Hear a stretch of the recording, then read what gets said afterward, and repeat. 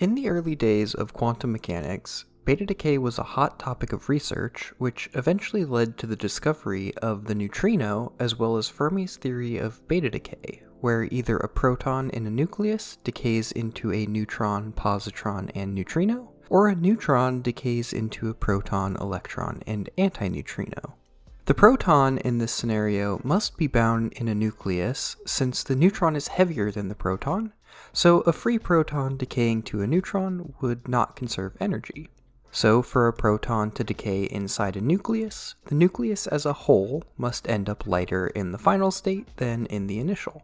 Now, we also know that these nucleons are bound states of quarks, and so we can switch out the proton and neutron for an up quark and down quark respectively, to instead deal with the Fermi interactions only involving the fundamental particles in our theory. Now, around the same time as the formulation of these Fermi interactions, another interesting particle was discovered from observations of cosmic rays. This particle, originally known as the mesotron and later renamed to the muon, has the same charge and spin properties as the electron, but is roughly 200 times as massive. Originally, before the quark model, it was thought that this muon was another hadron, since it had a similar mass to other mesons like the pions. However, as the muon was studied in more detail, it was found that it does not share the same properties as other hadrons. It can't be classified into an isospin family, and it doesn't participate in strong interactions. So, in reality, the muon shares almost all properties with the electron aside from its mass. Another interesting property of the muon is that it is unstable and it decays. In particular, the muon decays into an electron, a neutrino, and an antineutrino. And in a similar way, an antimuon decays into a positron, neutrino, and antineutrino. This again exemplifies the connection between the electron, muon, and neutrino. In beta decays, an electron or positron is always paired with an antineutrino or neutrino. Here, we not only see an antineutrino or neutrino, which can be paired with an electron or positron in the final state, but also a second neutrino or antineutrino, which can be paired with the initial state muon or antimuon. All of this together led to the classification of the muon as a second charged lepton alongside the electron. So now, we not only added in a new particle in the form of the muon, but we also see that we need a way to include these decays into the standard model, preferably in a way which can be useful in our usual perturbative expansion using Feynman diagrams. However, the issue is that just with the interactions we have introduced so far with QED and QCD, unless we have particle-antiparticle annihilations, we have no way of transforming one type of particle into a different type.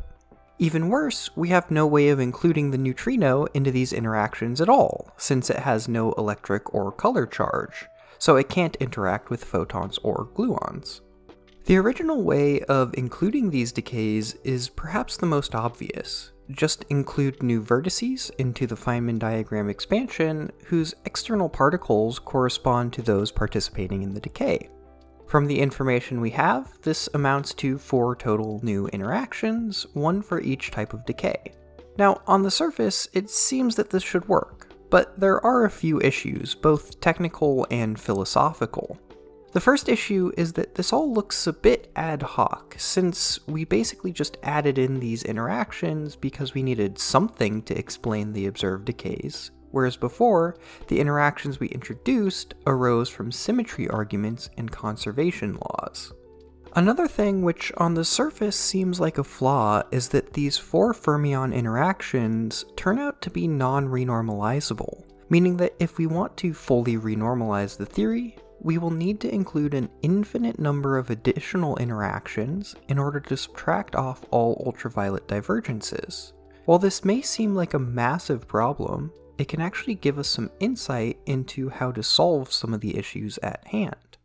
See, non-renormalizable theories in and of themselves are not problematic. In fact, theories such as this one have a very convenient interpretation as effective theories, meaning that they are perfectly valid to use and in fact truncate to a finite number of interactions, as long as the processes that we study stay within a certain energy regime, in this case, low energies. What if we want to consider high energy processes where the validity of the effective theory breaks down? In order to do this, we need a more complete renormalizable theory.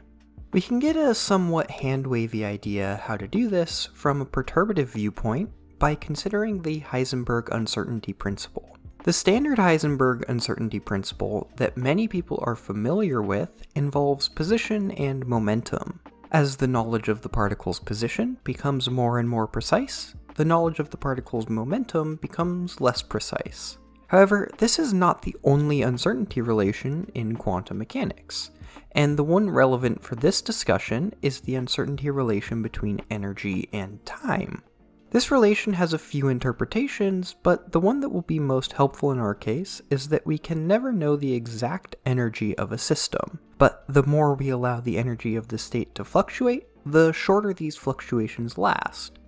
In other words, a system can borrow energy as long as it quickly gives the energy back. The more energy the state borrows, the faster it must give it back. As an example of how this can lead to an effective theory, let's consider the simple leading order Feynman diagram contributing to a process where an electron and positron annihilate to produce another electron-positron pair. In QED, this leading order diagram just consisted of a single intermediate photon. Now, instead of a massless photon, let's consider an intermediate particle with a large mass. Without the uncertainty principle, this process can't occur unless the incoming electron-positron state has an energy greater than or equal to this mass of the intermediate particle. Otherwise, the system will not have enough energy to produce this particle, even if it's at rest. When we take the uncertainty principle into account, things become far less strict. In this case, even if the energy of the initial state is not large enough to produce the intermediate particle classically, the system can borrow energy in order to produce the massive intermediate particle, as long as the intermediate state does not last for a long time. The farther away the energy of the incoming state is to the mass of the intermediate particle, the less time the intermediate state is allowed to survive. This means that at energies much less than this new particle's mass, this intermediate state will be extremely short-lived. If it's short-lived enough, we can approximate the process by contracting the line associated with the very massive particle to a point and treat it like the intermediate state does not exist. The end result is an effective 4 fermion vertex, just like those which we've introduced previously to explain the Fermi interaction. Of course, we can go the other way and replace the four fermion interactions with processes involving a heavy intermediate particle. So let's go ahead and implement this in the scenario of Fermi interactions. We have to be a bit careful to still conserve the charges of QED and QCD. If we stare at these interactions long enough, we find that all of them can be explained by fermions coupling to a new massive particle with the same electric charge as the positron, along with its antiparticle, called the W plus and W minus bosons respectively. These new interactions are perfectly renormalizable, so this seems like a feasible completion of the effective theory. This new particle is associated with the weak interaction, hence the name of the particle. Though there are still other interactions aside from these which make up the weak interaction. In particular, the weak interactions involving the intermediate W bosons are known as charged current interactions, and are very key to the standard model due to their unique ability to change particle type at a single vertex.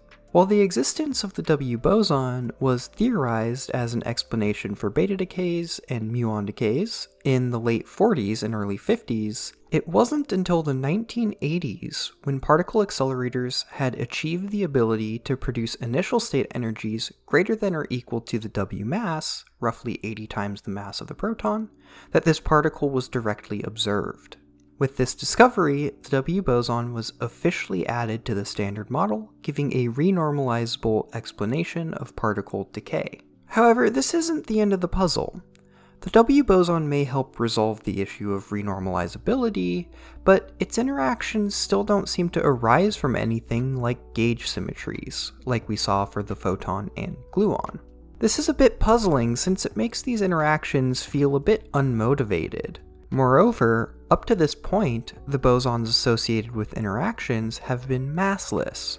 But not only is the W massive, it is far more massive than any other particle we have seen in the standard model so far.